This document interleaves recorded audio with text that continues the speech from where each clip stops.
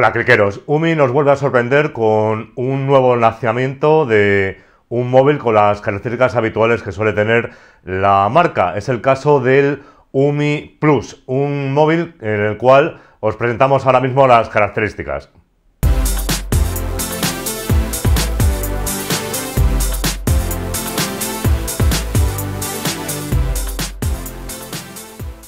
Como os comento, UMI ha presentado nuevamente un teléfono en el cual se convergen todas las características que suele tener sus anteriores eh, terminales, es concretamente el UMI Plus.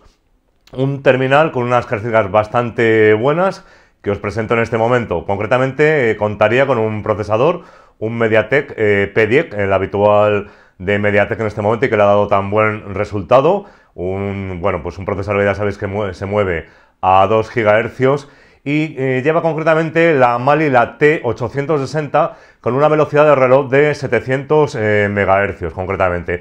Luego, en cuanto a lo que es la memoria, como se ha movido en anteriores terminales, contamos con una memoria RAM de 4 GB, concretamente DDR3, y con una capacidad de almacenamiento en sus versiones de 32 GB ampliables a 256 GB. En cuanto al apartado de la pantalla, contamos con una pantalla de 5,5 pulgadas en resolución Full HD, con la típica tecnología 2,5G de, perdón, ya se había redondeado en las, en las, curvas. Sí que es cierto que recuerda en cierta manera, bueno, tiene un estilo a lo que es el iPhone 6 y comprobaréis también que en la parte delantera eh, lleva lo que es el Touch ID de UMI, lo que es el lector de, de huellas que lo he incorporado y también en cierta manera recuerdo un poco a, lo que es, a lo que es Samsung.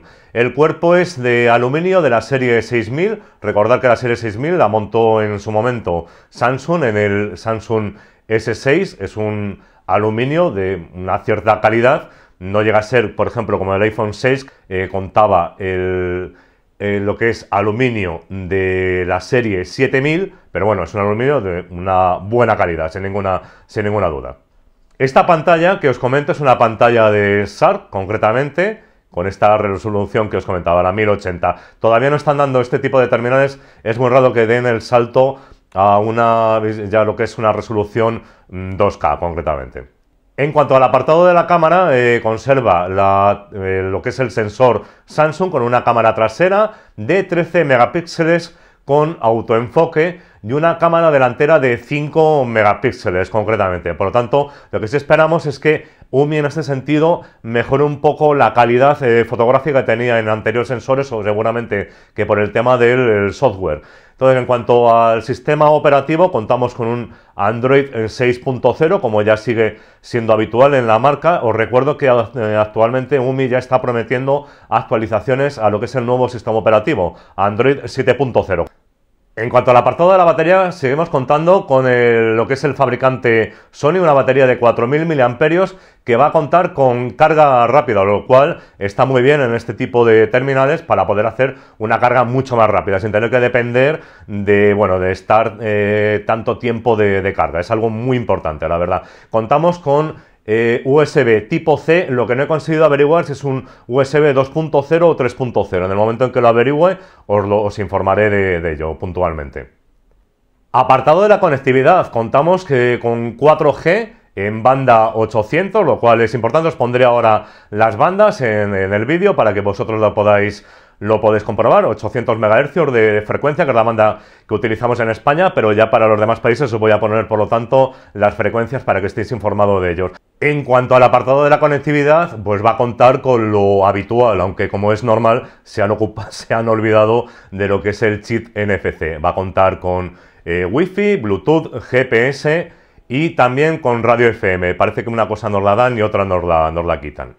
El terminal eh, se va a mover en torno a un precio de unos 299 dólares, aunque sí informaros de que hay eh, comercios ahora mismo a través de internet que están haciendo ofertas del terminal, por lo tanto podréis conseguirlo con unos precios más competitivos, aunque sí eh, informaros de que esto va a ser durante unos días. Además, de hecho, si os parece poco, eh, UMI va a sacar también lo que es una versión Extreme del Plus. Es una versión que va a contar con el Helio P20 por lo tanto, es, ya sabéis, es un octa-core, lo que pasa que el único que se mueve a 2,3 GHz y va a contar con la Mali-La T880 MP2 concretamente con una frecuencia de reloj de 900 MHz, por lo tanto ahí va a ser una mejora con respecto a la, otra versión.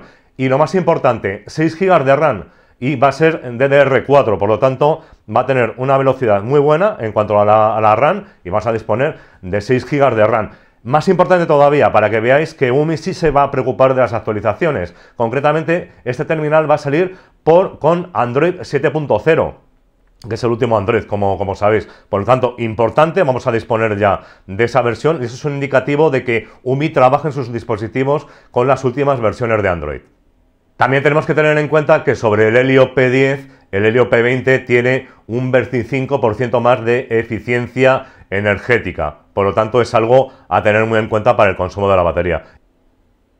Precio 299 dólares, aunque ahora mismo también informaros de que está en lanzamiento.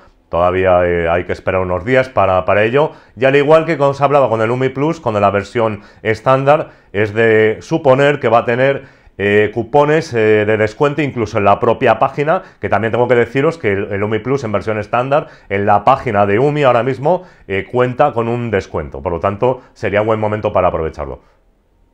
Bueno amigos, pues esto es lo que os tenía que contar de, sobre este nuevo terminal de, de UMI, el UMI Plus, creo que va a dar una buena referencia, buenas características y buen rendimiento. Espero que os haya gustado y hasta la próxima. Hasta luego.